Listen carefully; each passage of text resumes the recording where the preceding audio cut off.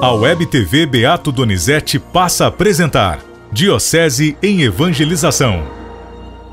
Nada, nada, nada, nada do que Deus criou é por acaso. Se nós existimos, se nós estamos aqui nesse mundo, nós somos frutos do amor de Deus. Nós temos um projeto de Deus na nossa vida. A nossa vida não é por acaso, não é fruto do acaso. Às vezes a gente acha assim, ah, eu estou aqui porque aconteceu. Não, não aconteceu. Você, nós somos desejados por Deus. E isso é importante que esteja no nosso coração. Né? Deus ele nos olha antes do nosso desejo de ver Jesus.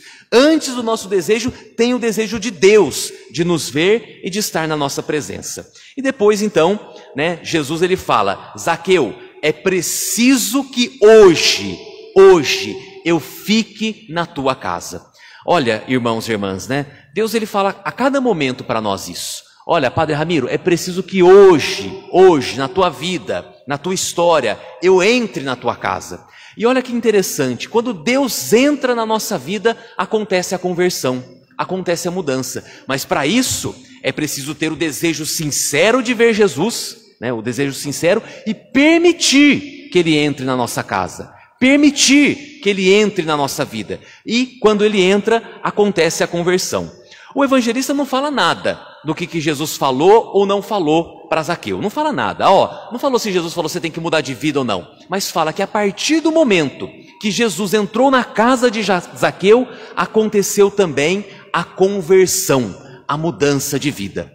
Amados irmãos e irmãs, pensamos que nessa liturgia, nesse 31 primeiro domingo do tempo comum, nós tenhamos a coragem, né? primeiro que a gente olhe né, o nosso desejo de ver Jesus, de contemplar Jesus, de buscar a Deus. Não importa o nosso pecado, importa, maior do que isso, é o amor de Deus por nós.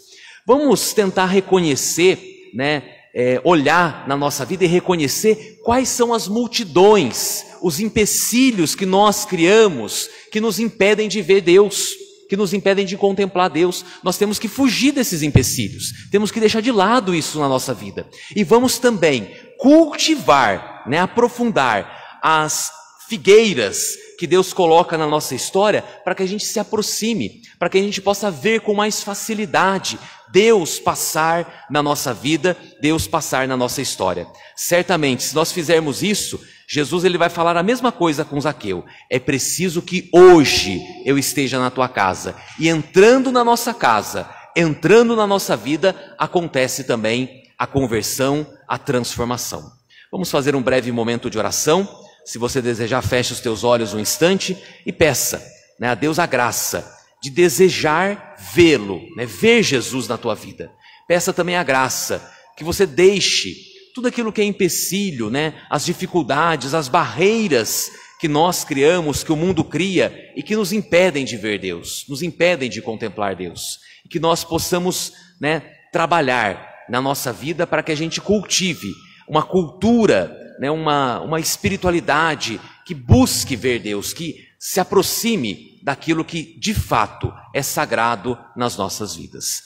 A Web TV Beato Donizete apresentou Diocese em Evangelização